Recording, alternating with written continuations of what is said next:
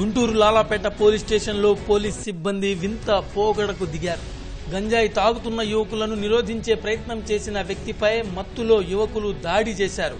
ఆ దాడిపై పోలీస్ స్టేషన్లో ఫిర్యాదు చేసేందుకు వచ్చిన బాధితుడిని ఎస్పీ ప్రెస్ మీట్ ఉందంటూ సాయంత్రం రావాలంటూ పోలీసులు పంపించి వేయడం ఇప్పుడు చర్చనీయాంశమైంది. బాధితుడికి అండగా నిలవాల్సిన పోలీసులు ఎస్పీ ప్రెస్ మీట్ పేరుతో అతన్ని పంపించే ప్రయత్నం చేశారు. ప్రస్తుతం బాధితుడు గుంటూరు ప్రభుత్వ ఆసుపత్రిలో చికిత్స పొందుతున్నాడు. న్యాయం చేస్తారని పోలీస్ స్టేషన్కు వెళ్తే ఆవేదన కలిగే సమాధానం లభించిందని బాధితుడు ఆవేదన వ్యక్తం చేస్తున్నాడు.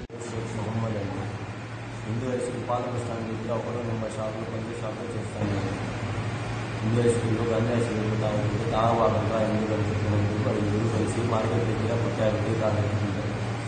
మార్కెట్కి వచ్చానండి కూరగాయల కోసం అది కే- లాలా పెట్టడానికి లాలాపేట ఖాళీ దగ్గర వేసి ముందుకు ఎస్పీ ఉంటే సాయంత్రం రా పన్నెండు తర్వాత రా అన్నారు.